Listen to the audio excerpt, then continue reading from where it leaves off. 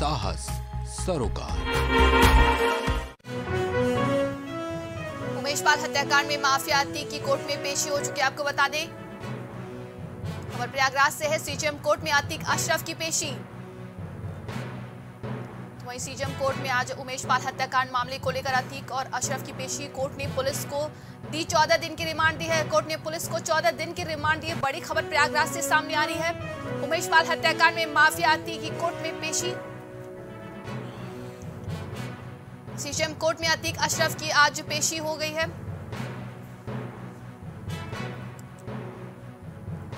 Court ने police को दी चौदह दिन की रिमांड। बड़ी खबर प्रयागराज से है, जहाँ पर उमेश पाल हत्याकांड मामले को लेकर आज अतीक अहमद और अशरफ की पेशी थी। उमेश पाल हत्याकांड में आज चौदह दिन के रिमांड पर पुलिस कस्टडी में लिया गया है।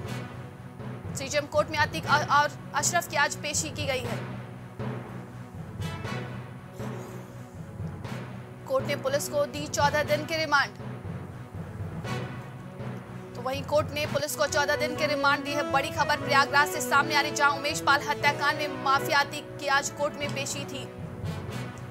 सीजीएम कोर्ट में आतिक और अशरफ की पेशी।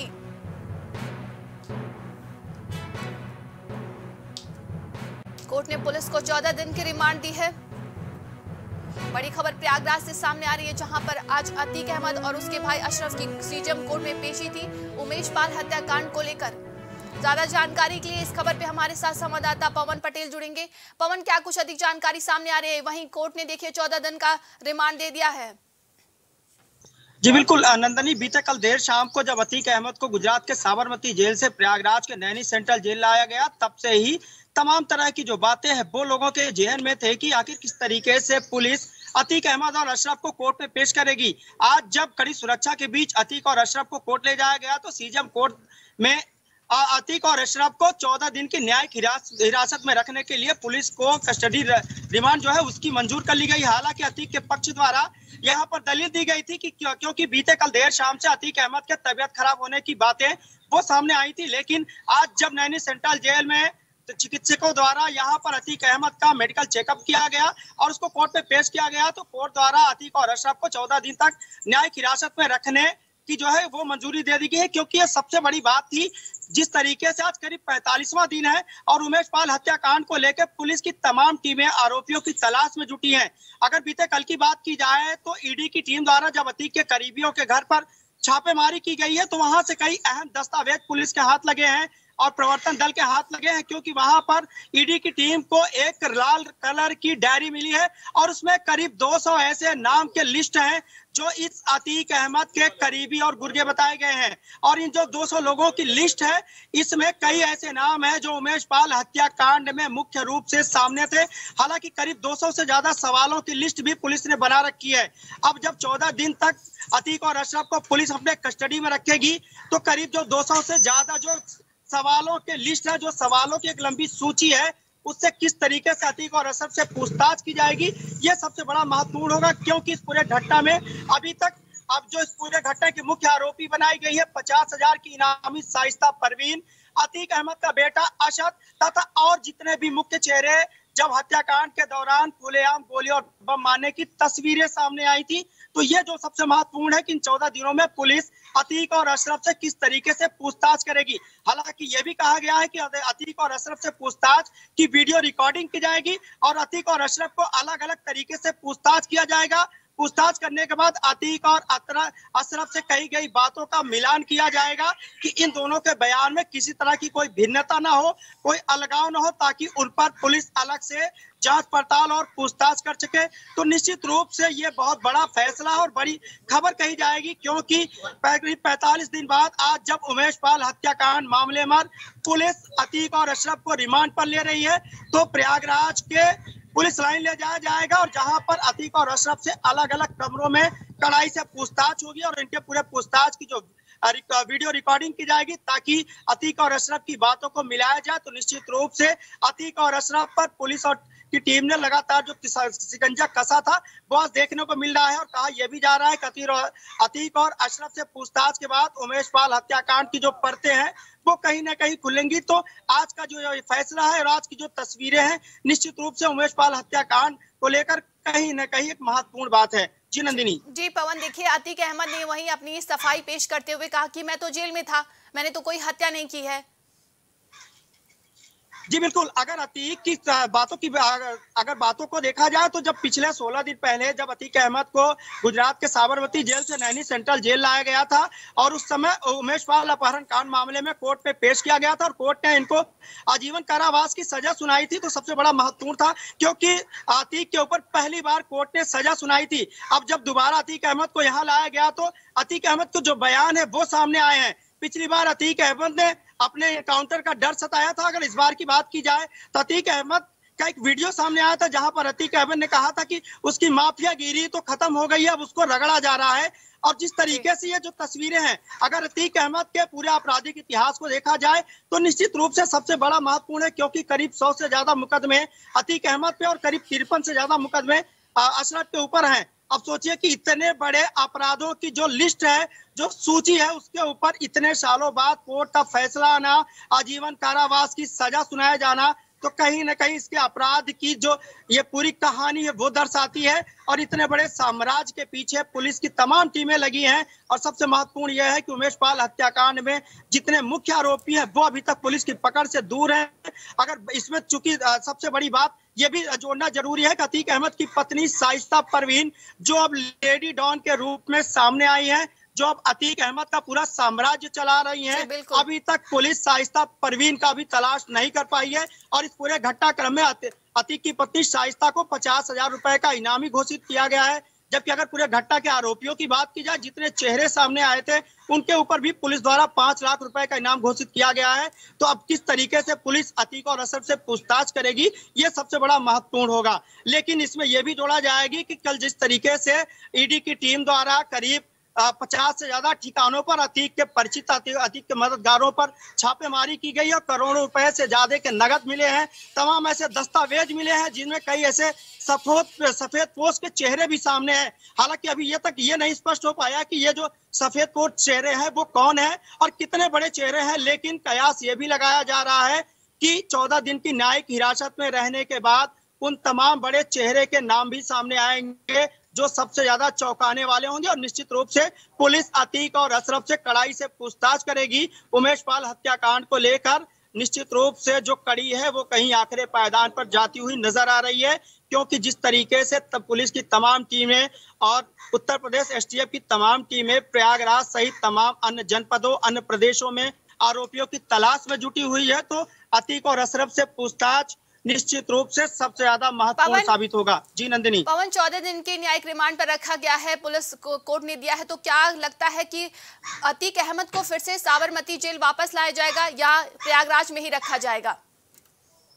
देखिए न्यायिक हिरासत में लेने के बाद पुलिस अतीक अहमद को पुलिस लाइन ले जाएगी और पुलिस लाइन में अतीक और अशरफ को अलग अलग कमरों में रखा जाएगा कड़ी सुरक्षा के बीच रखा जाएगा उनसे पूछताछ की जाएगी। ये भी बताया गया है कि अतीक और अशरफ से बातचीत और पूछताछ की सारी बातों का वीडियो रिकॉर्डिंग किया जाएगा।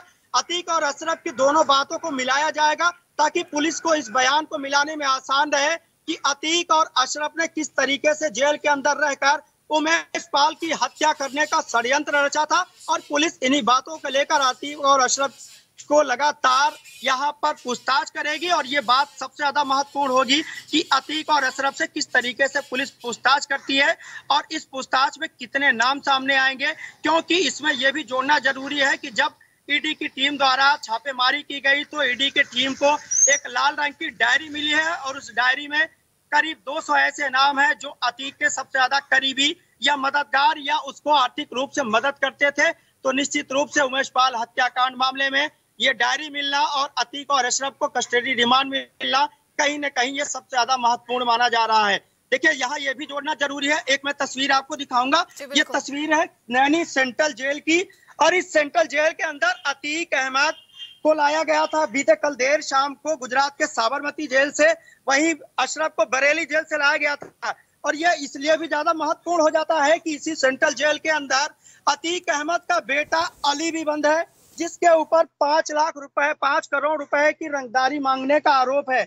अब ये अपराध की श्रेणी को दिखाता है कि एक चार दीवारी के अंदर बाप, बेटा और भाई बंद हैं, लेकिन एक दूसरे को देख नहीं सकते, एक दूसरे से मिल नहीं सकते। वो इसलिए भी ज़रूरी है कि कल जब देर शाम को अतीक अहमद को यहाँ पर लाया गया था तो अतीक अहमद ने अपने बेटे अली से मिलने की इच्छा ज़ाहिर की थी। हालाँकि सुरक्षा के मद्देनजर तमाम आपराधिक घटनाओं को देखते हुए जेल प्रशासन द्वारा अतीक अहमद को अली से मिलने के लिए रोक दिया गया और उसके दिल में ये जो कसक है, उसके चेहरे पर ये जो खौफ है, वो साफ़ तौर पर देखा गया क्योंकि बीते कल देर शाम को अतीक अहमद का ब्लड प्रेशर भी लो हुआ था और जेल प्रशासन द्वारा डॉक्टरों की टीम को बुलाया गया था, उसका मेडिकल चेकअप कराया गया है, तब कहीं जाकर कड़ी सुरक्षा के बीच अतीक अहमद को कोर्ट में पेश किया गया है। जी नंदिनी। जी पवन जिस तरीके से आज देखिए कोर्ट में पेशी हुई थी अतीक और अशरफ की बताया जा रहा है कि कोर्ट परिसर में वकीलों से और पुलिस से धक्का मुक्की हुई है। क्या कुछ हंगामा हुआ है वहाँ पर? जी बिल्कुल देखिए ये प्रयागराज का और कह लीजिए तो पूरे उत्तर प्रदेश का इस समय का सबसे बहुचर्चित मामला है सबसे बहुचर्चित हत्याकांड है क्योंकि हत्याकांड को भी बुलाया नहीं जा सकता। जब बीते 24 फरवरी को अधिवक्ता उमेश पाल को कोर्ट से वापस जाते समय दिन दहाड़े गोली और बम मारकर मौत के घाट उतार दिया जाता है और उस पूरे घटना के दौरान दो सुरक्षा कर्मी भी, वो भी मौत के गाल, काल के गाल में समा जाते हैं। तो ये हत्याकांड, ट्रिपल हत्याकांड का मामला है उस पूरे हत्याकांड का जो मुख्य आरोपी है, अतीक और अशरफ, इनके ऊपर जेल के अंदर रहकर षड्यंत्र रचने का आरोप लगाया गया। आज जब इनको कोर्ट में पेश किया गया तो ये बहुचर्चित मामला होने की वजह से वहाँ पर पुलिस और वकीलों में हल्की सी नोकझोंक वो देखने को मिली है। लेकिन जिस तरीके से सुरक्षा के व्यापक इंतज़ाम किए गए थे, कड़ी सुरक्षा के बीच अतीक और अशरफ को कोर्ट में पेश किया गया है और निश्चित रूप से आज ये बड़ा फैसला है और पुलिस के लिए एक चुनौतीपूर्ण भी होगा कि आखिर न्याय की हिरासत में रखते हुए अतीक और अशरफ से किस तरीके से पूछताछ की जाएगी, क्योंकि उमेश पाल हत्याकांड को लेकर पुलिस अभी तक लगातार खाली है। अब किस तरीके से पूछताछ होगी और किस तरीके से बातें सामने आएँगी, ये तो देखने वाली बात होगी। जी नंदिनी। पवन देखिए, आज अतीक और अशरफ की कोर्ट में पेशी हुई, लेकिन सबसे बड़ा सवाल ये उठता है कि आखिर जो बमबाज गुड्डू मुस्लिम था, वो कहाँ है? असद कहाँ पर है? जी, बिल्कुल, नंदनी, ये सबसे बड़ा सवाल है और यही सवाल लोगों के जेहन में है कि हत्याकांड के बाद चार पाँच ऐसे चेहरे थे जो साफ़ तौर पर देखे गए थे। उनका सीसीटीवी फुटेज आया था, उनकी तस्वीरें सामने आई थी। हालाँकि अगर पुलिस की कार्यवाही को देखा जाए तो पुलिस की कार्रवाई में सिर्फ़ और सिर्फ़ जितने नाम सामने आए थे, उनके घरों पर और पुलिस और प्रयागराज विकास प्राधिकरण द्वारा उनके घरों पर बुलडोजर से घर तोड़ने की, ध्वस्तीकरण करने की कार्यवाही देखी गई थी। लेकिन जो एक सबसे बड़ा सवाल है कि गुड्डू बम्बाज जैसा चेहरा जब उसको साफ़ तौर पे तस्वीरों में देखा गया और किस तरीके से झोले से बम निकाल कर वो फेंकता नज़र आया था और तमाम ऐसी तस्वीरें थी जो लोगों ने देखी कि हत्याकांड को कितने कितने अच्छे तरीके से इन लोगों ने, सुनियोजित तरीके से इस हत्याकांड की इन्होंने पूरी कड़ी जोड़ रखी थी, किस तरीके से वहाँ पर दिन दहाड़े इस पूरे घटना को अंजाम दिया जाता है और तीन मौतें होती हैं और लगातार जो गोलियाँ और बम चलने की तस्वीरें थी, वो भी तमाम तरह से सामने आई हैं। अलग अलग तस्वीरें तो निश्चित रूप से एक बड़ा सवाल है, इस पूरे घटना के दौरान शामिल जितने भी आरोपी हैं जिनके चेहरे सामने आए थे आखिर वो अभी तक पुलिस की पकड़ में कैसे नहीं आए? हालाँकि ये बड़ा सवाल है लोगों के जेहन में बार बार ये सवाल आया। कई तरीके से लोगों ने यह भी पुलिस पे आरोप लगाए कि पुलिस कहीं ना कहीं पूरे घटना में फेल नज़र आ रही है। पुलिस का खुफिया तंत्र फेल नज़र आ रहा है। पुलिस की एल की टीमें फेल नज़र आ रही हैं, क्योंकि दिन दहाड़े इस तरह के घटना को अंजाम देना, तस्वीरें सामने आना, आरोपियों का इतने दिन फरार होना, पुलिस की पकड़ में ना आना, एक बड़े सवाल की ओर ले जाता है। हालाँकि अब जिस तरीके से पुलिस अतीक और अशरफ को आज कस्टडी रिमांड पर ले ली है, किस तरीके से पूछताछ करेगी, किस तरीके से आरोपियों के बारे में जानकारी जुटाएगी, किस तरीके से इस हत्याकांड का खुलासा होगा, ये देखने वाली बात होगी। जी। पवन, बिल्कुल, तमाम जानकारी के लिए बहुत बहुत धन्यवाद आपका, पवन।